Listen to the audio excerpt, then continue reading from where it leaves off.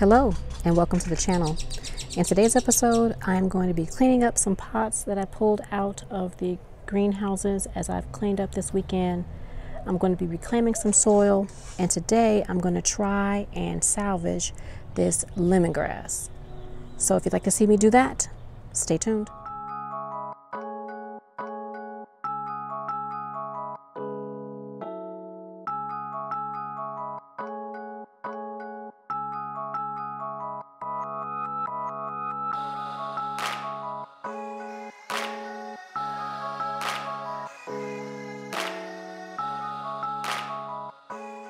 This lemongrass has been hanging out in the house and it looks terrible. I am going to try to salvage it. This pot was just hanging out in the garden all winter. I covered it up with some found mulch. What I'm going to do is I'm going to repurpose this soil. I'm actually going to dump this soil out into my turquoise bucket refresh it, put it back in the pot, and try and grow some lemongrass. Hmm. What do we have here? Something in the pot. I don't know. Was that a carrot? Huh. Interesting. Interesting. Something was in here from last year. I don't know what, but it indeed had something in here that had grown. Huh. I didn't know I had something in this pot. I thought it was just a pot that was just hanging out in the garden that had nothing in it. Wow. See, good thing I decided to dump this soil out because I have no idea what this is. No idea. Interesting, interesting, interesting. It has the skin of a carrot, but I don't remember putting carrots in this container. But just because I don't remember doesn't mean it didn't happen. oh. But it doesn't look like a carrot in the inside. Huh. I don't know. I have no idea. Mystery. So I'm just going to refresh this soil once I get this debris out of here. I don't know what that is. Don't know if it was a flower. Don't know if it was if it was carrots. No earthly idea. So now that I've dumped the soil out, I've taken out that mystery, whatever it is. The soil looks good. A little bit heavy, but that's all right. I'm going to go ahead and put some fertilizer in here. I am starting with Osmocote. This is a all-purpose fertilizer. I'm just going to dump two scoops in. I'm going to use my Osmocote. Did I say Espoma? That was Espoma all-purpose. I hope I said that right. This is my Osmocote flower and vegetable. I'm going to put one and a half scoops like that.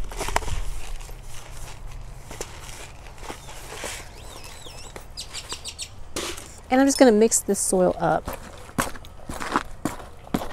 And because this soil does seem to be a little heavy, I'm going to get some vermiculite and put in here just to kind of loosen it up a little bit. So I don't want this to be too claggy and hold on to too much moisture. So let me get a couple scoops of vermiculite and I'll be right back. I decided not to get vermiculite. Excuse me. I decided to get perlite.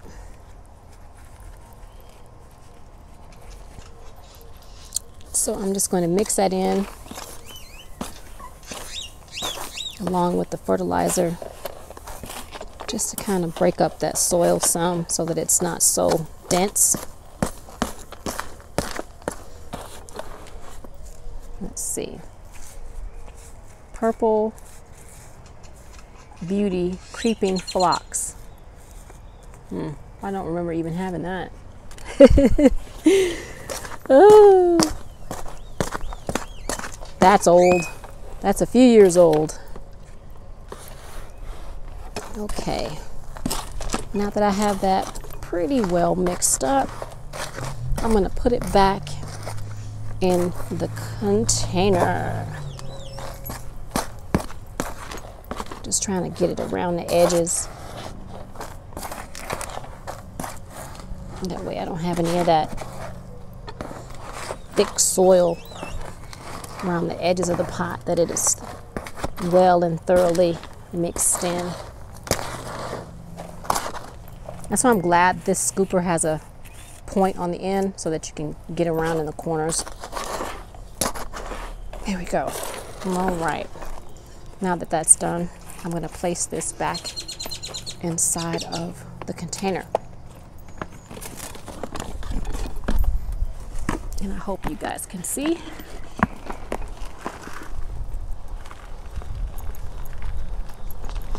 There we go. Now I'm not going to fill it all the way up. Not just yet. Excuse me.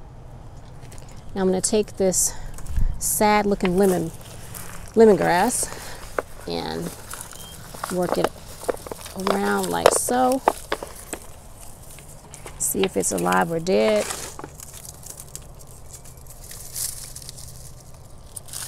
Let's see.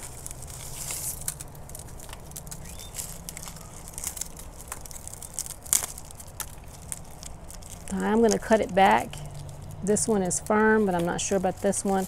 You can see this one is nice and green and firm. Um, it does need to put some root growth on, so that one's going to go in there. I'm not sure about that one. This is the same. Peel it back. You can see that it has nice green. So I am going to cut it back. So that's going to go in there. Same with this one. It's thin, but it does still have some green on it. So in it goes. This one, not so much. And even though this one is small, or I should say thin, it does still also seem to be alive. So what I'm going to do is I am going to go ahead and plant these. I'm going to cut them back, trim them up. As you can see, they look real scraggly but I'm going to cut them and put them in this pot. So I'm just going to plant them just like so. Nothing special. Just put them in like that. And I'm going to take my scoop and backfill. I do apologize for my neighbor's dog. They are out. Someone's walking by and they don't like it. But if you are a fur baby owner, you know that sometimes that's just how it is. All right. Okay, so I'm just going to firm it in like that, pushing the soil down and around.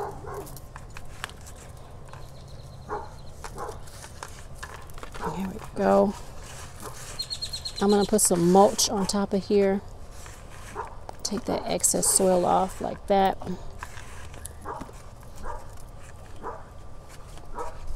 And then I'm going to just put this in a sh partly shaded area and allow it to grow more roots and I'm gonna cut the top off and I'm gonna keep an eye on it to see if it's going to grow. I'm going to repurpose this soil so I'm going to dump it over in that bucket like that.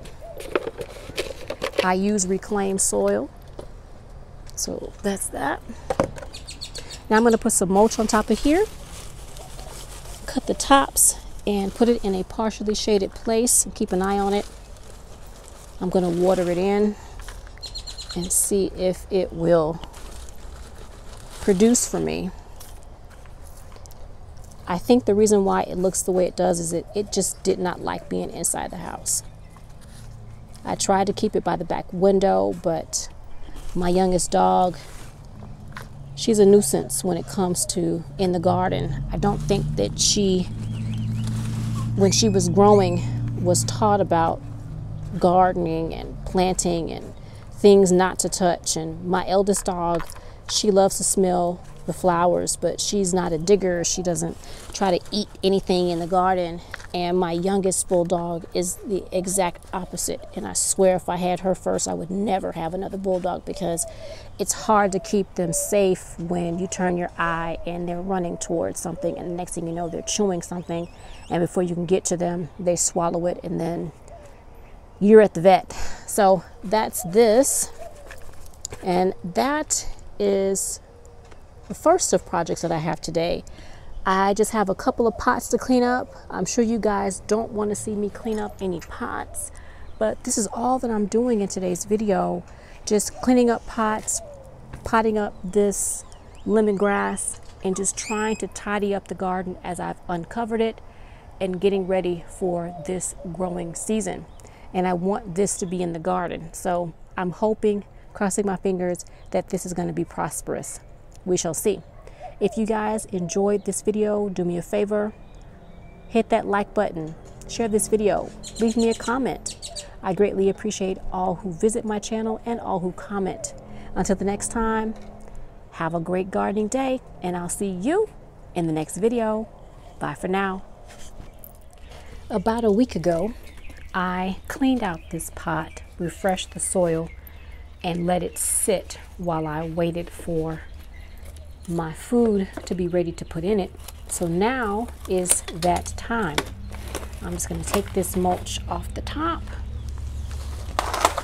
And I had some worms that was living in this and I still have a couple. I'm going to take them out, put them in the soil. And then I'm going to toss this out hoping I don't toss away any worms, but this has got to go because it's gross. Nothing in there.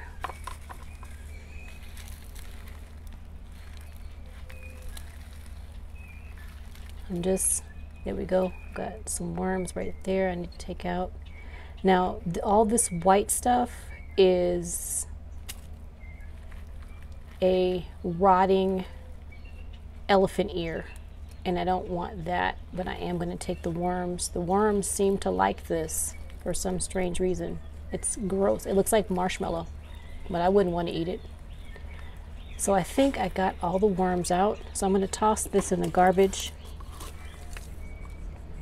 I'm going to leave the leaves in here.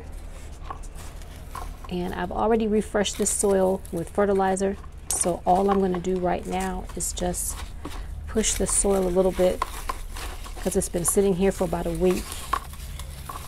Like that. Leave those leaves in there. Now what I'm going to be planting is this. I had taken some ginger that I gotten from the grocery store and I just placed it, as you can see, in a reusable um, plastic container that came with brownie bites. So I'm just, all I did was put them in here, set them on some soil and you can see they've begun to root and they've begun to send out shoots. So all I'm going to do is just take them out of here like this, place them on the soil like this. And then I'm going to cover them up with this soil that I have in this container. And I could break these down a little bit further, but I'm not going to. They were doing so well just as they are. I am going to leave these leaves. These leaves are good for worm food. So I'm just going to break up this soil and place it on the top like so. Just cover them up a little bit. They don't need to be buried too deep. I have some reclaimed soil off to my left in my turquoise bucket. I'm going to take that and just cover up my ginger just like that just like that. And that's it. I'm going to take some mulch and place some mulch on top of here so that this soil stays moist and these will continue to grow because they like that moisture. As you saw they were growing quite nicely so that's about it. that is me planting my store-bought ginger.